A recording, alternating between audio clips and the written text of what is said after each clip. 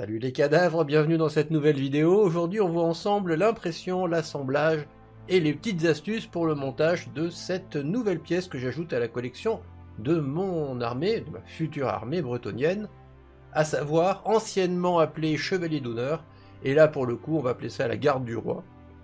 Comme ça, quel que soit le nom qui lui sera donné quand on pourra enfin rejouer des bretoniens, on aura notre garde d'élite euh, avec des fleurs de lys partout. Comme vous pouvez le voir sur la vidéo, le résultat est pas dégueulasse. Alors comme d'habitude, hein, vous savez que la photo met euh, vachement en avant les défauts qu'il y a sur une figurine, plus le reflet qui se prend dans le vernis. Je vous assure qu'à l'œil nu, euh, c'est bluffant. je suis vraiment très content du résultat, l'impression est globalement très très bien sortie, même pour les toutes petites pièces. Euh, et Dieu sait qu'il y en a.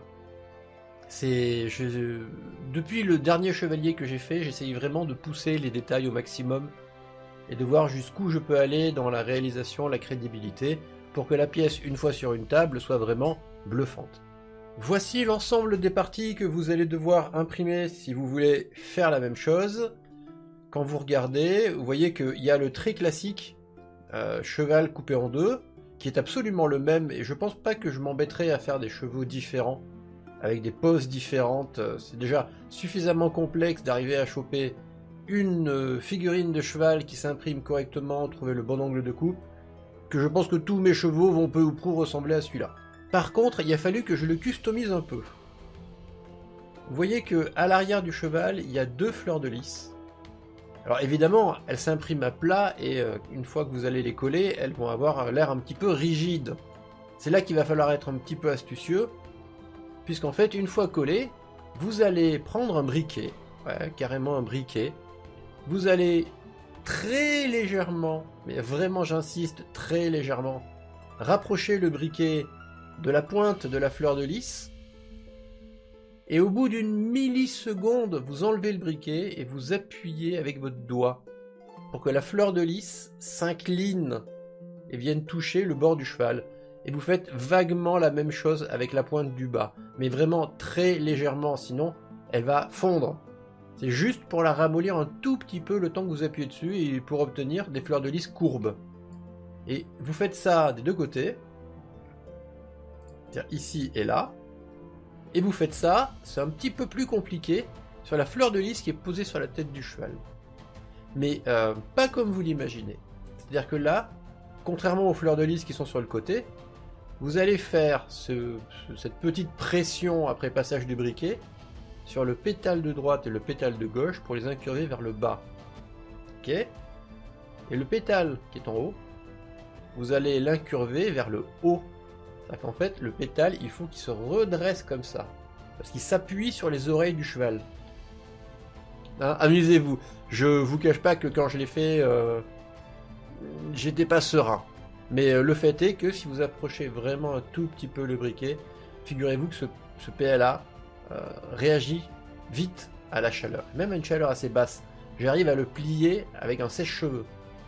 Alors, essayez pas le sèche-cheveux parce que une fois que la fleur de lys elle est collée, votre sèche-cheveux il va chauffer l'intégralité de la figurine. Et vous risquez d'avoir des petits soucis. Un briquet, un peu de doigté, un peu d'intelligence, et vous allez arriver. Euh, et au pire, si vous niquez complètement la fleur de lys, vous la réimprimez. Hein, ça prend 10 euh, minutes, et encore 10 minutes, je suis large. Le bouclier a sa fleur de lys intégrée. Plutôt que de faire en deux parties, m'embêter, etc., j'ai voulu voir si, par hasard, la fleur de lys directement sur le bouclier s'imprimerait pas très très bien. Et le fait est que le résultat ne me déplaît absolument pas. Maintenant, après, euh, à vous de voir. Hein. Le chevalier, quant à lui, alors très classique, une part de torse plus jambes. Alors, je vais juste le sortir de là deux secondes. Voilà. Avec la classique petite barre au niveau des jambes. Alors, pourquoi? Pourquoi? Pour faciliter l'impression. Faut la couper après, bien évidemment. Mais... Euh, quand je mets pas cette barre en travers des deux jambes, bah figurez-vous que une fois sur deux, euh, pendant l'impression, il y a une des jambes qui se casse la gueule, qui est poussée par la buse et qui du coup tombe et du coup l'impression foire complètement. Depuis que je mets ces petites barres là entre les jambes des cavaliers, il s'imprime vachement mieux. Petit bonus euh, aussi, le torse. Le torse, euh, il y a un surcot dessus. bah, j'ai rarement vu une pièce sortir aussi bien. J'ai rarement vu une pièce verticale, à ma impression aussi verticale, sortir aussi nette que ça. Honnêtement, le torse du chevalier, j'ai pu euh, m'amuser à peindre euh, les reliefs du tissu comme sur les figurines que j'ai eues avant de mon ancienne armée bretonnienne. Aucune différence, un vrai plaisir. Très très très très belle impression. On va le remettre en place. Le casque est pas le même que sur les chevaliers simples. Il est, un petit peu plus euh, travaillé, la visière euh, va un petit peu plus sur le haut. Est-ce que ça se voit? Oui, oui. En fait, euh, on voit le résultat, on voit la différence. Ça accroche vachement mieux la peinture. En fait, techniquement, ce casque-là est même mieux que le casque du chevalier ordinaire. dernier détail que je voulais aborder avec vous, il est ici. Ce truc m'a demandé un certain travail pour trouver euh, la bonne taille, euh, le fait que ça s'imprime bien, etc., etc. Ce petit anneau sert à faire la lance de joute. En effet, les lances de joute des chevaliers bretoniens se terminent par une sorte de garde, de protège, protège-main, très évasée. Et comme je voulais pas imprimer la lance parce que je savais que ça rendrait mal, parce qu'un truc imprimé aussi long et aussi fin, il y a très peu de chances que ça sorte bien de l'imprimante, et si vous essayez de l'usiner derrière, il y a beaucoup de chances que ça se casse. Donc je voulais la fabriquer avec mes petites mains. Et la base de cette lance, c'est un cure-dent. Il fallait donc que je trouve un petit objet plastique facile à imprimer qui transforme rapidement ce cure-dent en lance de joute. Et on va ensemble dans l'atelier lance de joute bretonnienne. Voilà la pièce imprimée une fois finie. Vous voyez, elle n'est pas très très grosse. Je vais la sortir de son radeau. Voilà. Si elle n'est pas assez nette, n'hésitez pas à l'usiner. Mais d'une manière générale, ça sort quand même... Enfin, c'est un truc assez simple, hein. c'est un solide assez simpliste. Voilà le cure-dent tout à fait classique.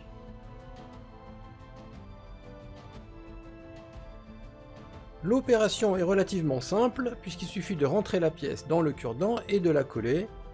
Alors faites attention, comme le cure-dent est rond, il faut bien vous assurer que la pièce plastique est bien perpendiculaire au cure-dent. Qu'elle penche pas un petit peu sur la droite, sur la gauche, en avant, en arrière.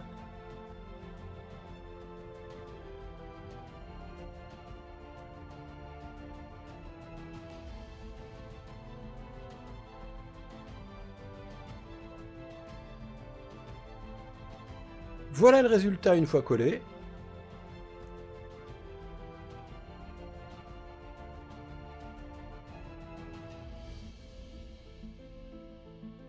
On va pouvoir passer à l'étape numéro 2. Cette petite languette de plastique est ce que l'imprimante met sur le plateau avant de commencer l'impression.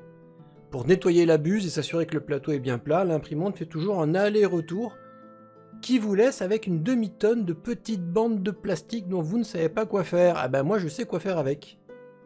Je la plie en deux, je mets un point de colle sur le cure-dent, à peu près à l'endroit où, où devrait se trouver la fin de la pointe de la lance.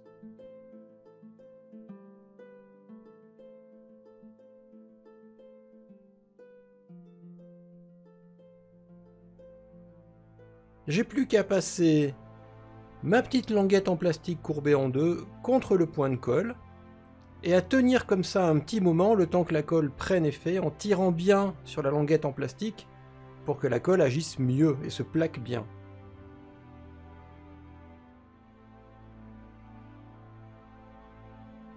Et une fois que c'est collé, je me sépare d'un des deux bouts, le plus petit, le plus moche, le moins régulier, et je garde l'autre.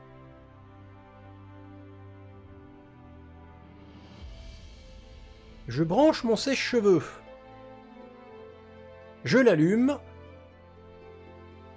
Je vais venir avec mon cure-dent devant le sèche-cheveux. Alors je vais pas y rester en permanence, je vais y passer de, de temps en temps, puis je retire le cure-dent. Et je profite du fait que le plastique s'amollisse pour tourner mon cure-dent dans le sens des aiguilles d'une montre et faire en sorte que le ruban de plastique vienne s'enrouler le long du cure-dent de haut en bas et de manière aussi régulière que possible.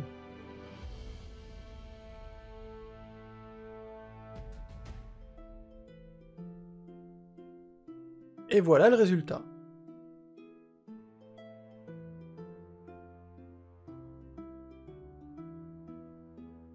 Le surplus, je le coupe avec une petite pince coupante juste au ras de la garde, et en biais si possible.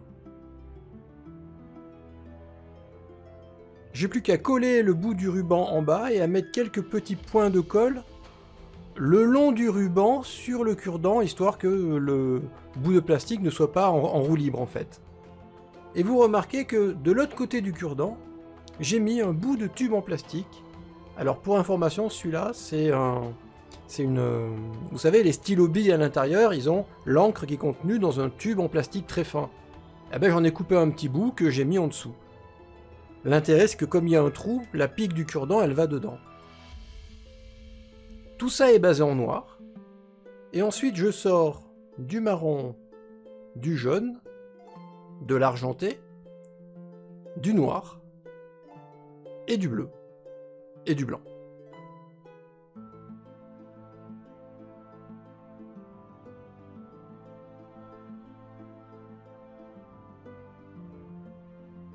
Il n'y a plus qu'à mettre tout ça en couleur en vous appliquant un petit peu.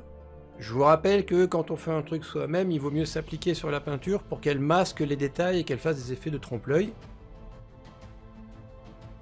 La pièce est relativement petite et pas bien compliquée à peindre en même temps.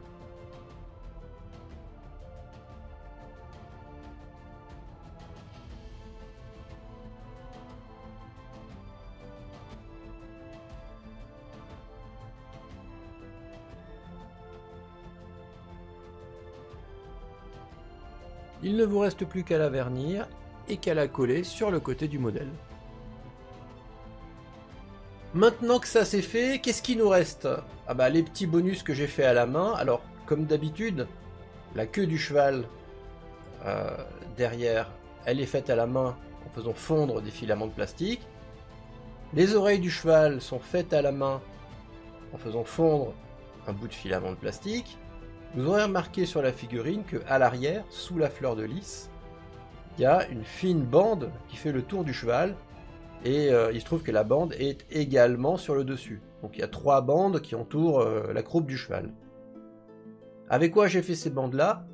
Eh bien avec une de mes matières préférées, qui est exactement la même que celle qui entoure la lance, qui est exactement la même que celle qu'il y a sur le cimier du chevalier, les trucs qui serpentent là, c'est les petites bandes de plastique que votre imprimante fait avant de faire l'impression sur le côté du plateau. Ne les jetez pas. Ne les jetez surtout pas, vous avez entre les mains des bandes de plastique régulières, super fines, et qui réagissent très bien au sèche-cheveux. Comme vous l'avez vu. Eh ben continuez. Prenez deux bandes de plastique comme ça, prenez un briquet, faites-les fondre pour qu'elles se mélangent, et vous collez ça sur la tête du chevalier. Prenez votre briquet, de... alors, avec précaution, sinon ça va s'enflammer, ça va tomber. Approchez votre briquet, vous allez voir que les bandes de plastique vont réagir en se tordant. Laissez-les se tordre un peu. Prenez-les à la main, donnez-leur une forme sympathique, laissez sécher, coupez, et vous obtenez les petits rubans qui tombent du, du homme. Recyclons, recyclons mes amis, ne jetons plus ces petites bandes-là. Voilà les cadavres, c'était tout pour euh, la garde du roi bretonnienne, qui est un résultat qui me plaît beaucoup, qui demande pas tellement plus de travail qu'un autre chevalier. Je suis très content de toutes les astuces que j'ai trouvées, je suis très content de toutes les customisations que j'ai apportées. Je pense que la prochaine fois, je vais m'occuper des chevaliers errants, particularité des chevaliers errants, euh, à ma façon, bien sûr. Ils ont la tête nue, c'est-à-dire plus de hommes, mais euh, des têtes avec des, euh, vous des cols d'armure qui remontent bien autour du cou, des gorgerins, et euh, des barbes, voilà, le, chevalier baroudeur, grosso modo. Et à l'arrière du cheval, il y aura tout ce qui est matériel de survie, de campement, enfin le bordel du chevalier errant, quoi. Eh ben on verra si ça rend bien. Allez les cadavres, bonne impression, amusez-vous bien. Rendez-vous euh, rendez-vous sur internet hein, finalement parce que vous y êtes. Ciao